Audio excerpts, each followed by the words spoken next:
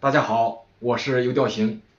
野钓经常遇到风浪，尤其是沿海一带有风浪的天气很常见，即使在北方，这种天气也不少见。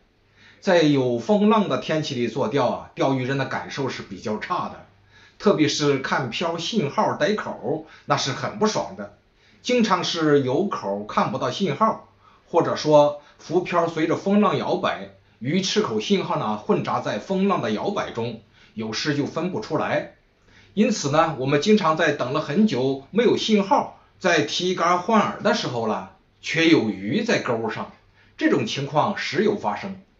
但并不是在风浪中钓鱼全都是这样，也就是说啊，并不是在风浪中钓鱼每次鱼吃钩饵都看不到信号。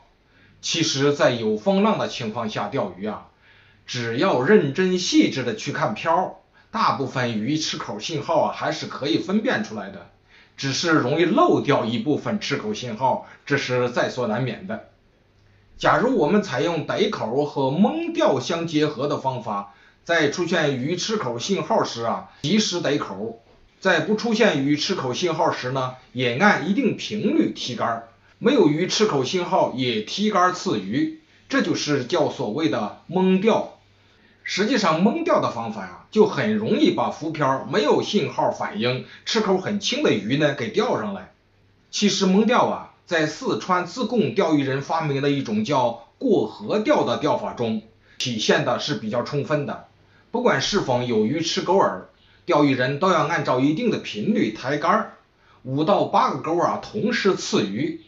中鱼了呢就收线取鱼，没有中鱼呢就放下等待下一次抬竿。完全是按照一定节奏来抬竿蒙钓的。我们把这个方法用在手竿，在大风大浪的垂钓环境中啊，与逮口相结合，有鱼口呢就逮口，没有鱼口呢就蒙钓，也会收到不错的效果。蒙钓的另一个好处是在按一定频率蒙钓时啊，就等于在打频率诱鱼。